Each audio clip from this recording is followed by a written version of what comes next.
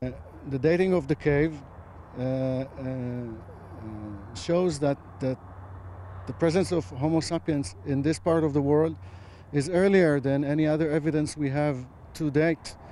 Uh, the earliest we know until now is uh, Homo sapiens found in Eastern Africa, dated to around 200,000 years. Um, that means that we have to uh, rethink the, uh, the, the, basic uh, reconstructions we have for human evolution and spread.